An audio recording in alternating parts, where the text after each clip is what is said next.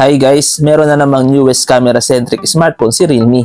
Ito ang Realme 12 4G. Available na ito sa Philippines at kung gusto nyo malaman ang price nito, make sure lang na panoorin nyo ang buong video.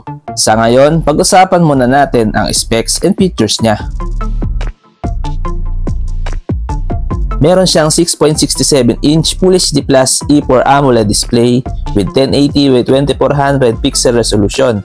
May 120Hz refresh rate with 180Hz touch sampling rate at may 1200Hz na instantaneous touch sampling rate with 2000 nits peak of brightness at ito ay may rainwater smart touch.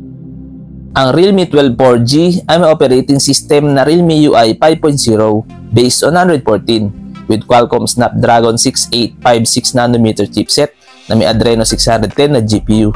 Ang smartphone na to ay may 8GB of RAM plus 8GB dynamic RAM with 256GB of internal storage expandable up to 1TB via microSD. Pagdating naman sa camera, ang Realme 12 4G ay may dual rear camera setup with 50MP Sony LYT600 main camera with OIS plus 2MP mono camera with LED flash at may up to 1080p at 30fps video recording. At meron nga pala itong 16 megapixel selfie camera with up to 720p at 30 fps video recording.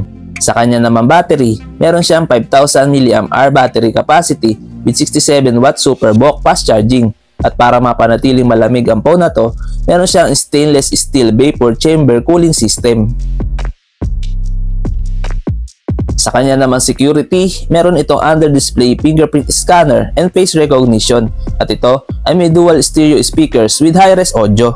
Sa dimensions, meron siyang 162.95 by 74.75 by 7.92 mm at may timbang siya na 187 grams with IP54 dust and splash resistance at ito ay may hybrid dual SIM. Sa connectivity, meron siyang 4G LTE, dual band Wi-Fi, Bluetooth 5.0, GPS, Galileo, GLONASS, QZSS, BDS, headphone jack, NFC, and USB Type-C. Ngayon naman guys, dito na tayo sa kanyang official price.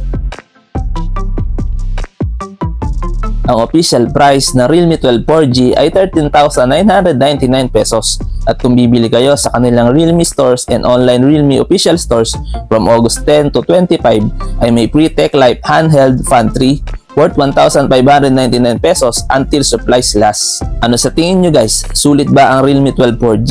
Please comment down below. Hanggang dito na lang muna ang video natin guys. Huwag nyo nga pala kalimutan mag-subscribe sa ating YouTube channel para lagi kayong updated sa ating mga bagong video. Maraming salamat!